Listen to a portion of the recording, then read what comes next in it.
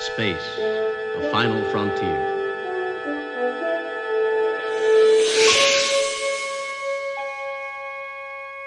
These are the voyages of the starship Enterprise.